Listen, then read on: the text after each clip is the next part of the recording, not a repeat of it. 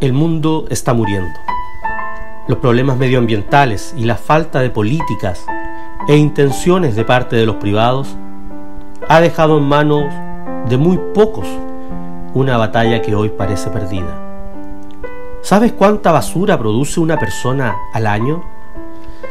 La generación anual de residuos sólidos domiciliarios se estima en casi 1.900 millones de toneladas, de los cuales solo 570 millones se reciclan o se recuperan.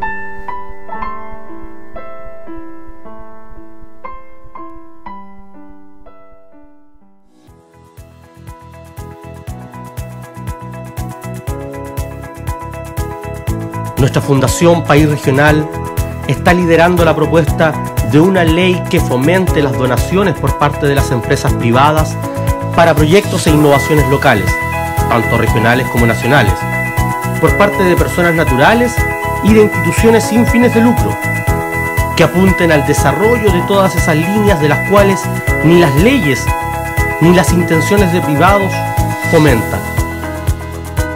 Así como existe la ley de donaciones deportivas y la ley de donaciones culturales, País Regional busca la instauración de la ley de donaciones para el cuidado del medio ambiente y el reciclaje.